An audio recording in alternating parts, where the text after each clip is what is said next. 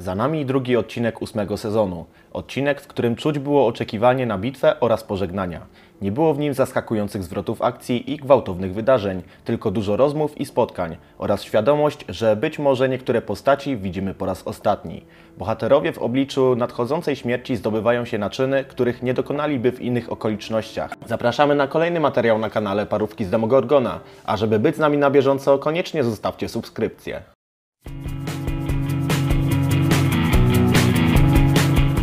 Odcinek rozpoczyna się od sceny w wielkiej sali Winterfell, gdzie Jamie zostaje osądzony za wszystko, co uczynił w swoim życiu.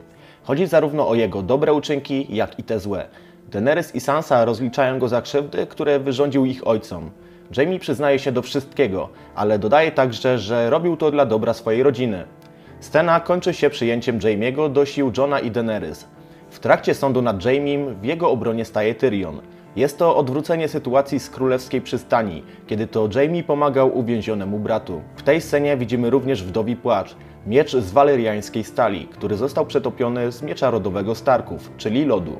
Winterfell jest także wierny przysiędze, oręż należący do Brienne, więc miecz Neda Starka powrócił na północ i będzie służył w obronie Winterfell. Te słowa to nie tylko wspomnienie momentu, w którym Jamie wypchnął Brana z wieży. Te słowa poruszają także Brienne i motywują ją do stanięcia w obronie Lannistera. Sama aktorka mówi o tym, że jest to niemal jak wyznanie miłości z jej strony. Bran długo czekał na Jamie'ego i nie wspomniał podczas sądu, że Lannister wypchnął go z wieży. Tłumaczy to tym, że martwy Lannister nie pomógłby w walce z innymi, ale nie ukrywajmy, jeden rycerz bez ręki nie zmieni zbyt wiele podczas bitwy, więc skąd taka potrzeba utrzymywania Jamie'ego przy życiu? Być może jest to sygnał, że Jamie w trakcie walki dokona czegoś ważnego i wyjątkowego.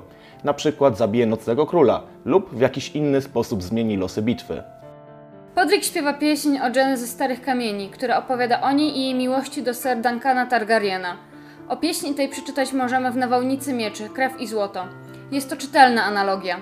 John i Daenerys są w podobnej do nich sytuacji i muszą wybrać albo miłość, albo tron, tak jak Duncan i Jenny ze Starych Kamieni. Zaraz po pieśni widzimy młodych Targaryenów, co także podkreśla podobieństwa między historiami. Pieśń o Jenny może być także wskazówką, kto z bohaterów umrze w trakcie bitwy. Gdy Podrick śpiewa, na ekranie ukazują się niektóre postaci. Jorah, Theon, Szary Robak, Goździk, Sam, Gendry.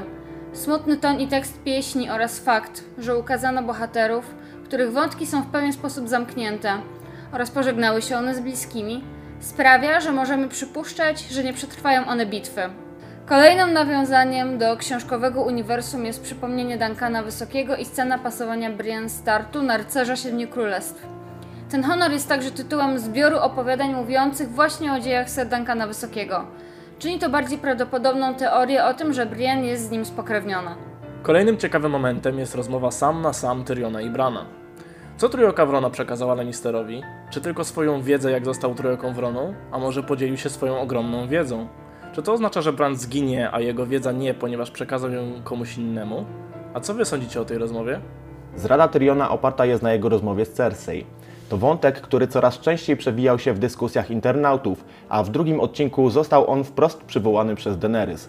Rzeczywiście, trudno uwierzyć w to, że tak wytrawny gracz jak Tyrion tak łatwo dał się oszukać siostrze. Powodów jego zdrady może być wiele. Na przykład to, że Daenerys coraz bardziej przypomina swojego szalonego ojca, albo fakt, że w Tyrionie od lat zbiera się frustracja, a podczas swojego sądu wyznał, że chętnie zniszczyłby całą królewską przystań. Tyrion nie jest aż tak głupi, żeby zaufać Cersei, więc może od początku wiedział o tym, że jego siostra zdradzi Daenerys. Siły Johna i Daenerys mają zostać podzielone na trzy części. Lewą flanką ma dowodzić Brienne, a w skład jej wojska mają wchodzić rycerze Doliny oraz siły Starków. Według makiety, którą posługują się bohaterowie, możemy wnioskować, że rycerzy Doliny jest zaskakująco mało. Mniej niż moglibyśmy przepuszczać po bitwie Bękartów. Środkowa część wojska składa się z sił Daenerys, a na przedzie walczyć będą nieskalani. Prawa flanka to wyłącznie Starkowie, ale nie wiemy kto będzie nimi dowodził. Jorah wyjeżdża poza mury Winterfell na czele dotraków, którymi zapewne będzie dowodził. Co ciekawe, według makiety jednostki Mormontów pozostaną w obrębie murów Winterfell.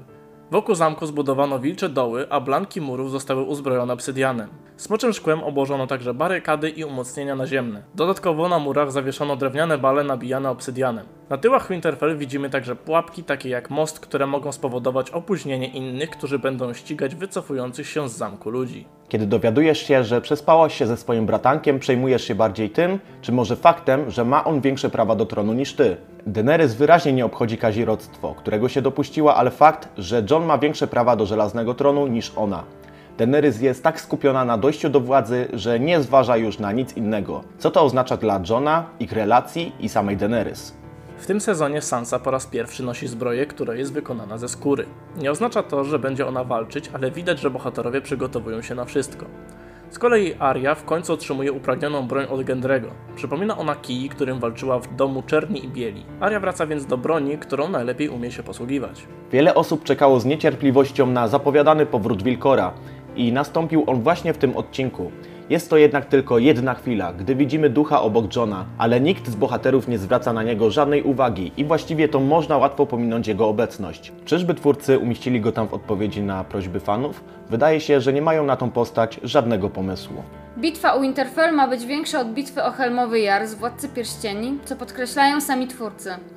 W tym odcinku można także odnaleźć kilka nawiązań, które zorientowanemu widzowi od razu przypomną historię z uniwersum Tolkiena. Między innymi jest to wzruszająca pieśń śpiewana przed bitwą, Władcy Pierścieni był to Pippin, w grze o Tron.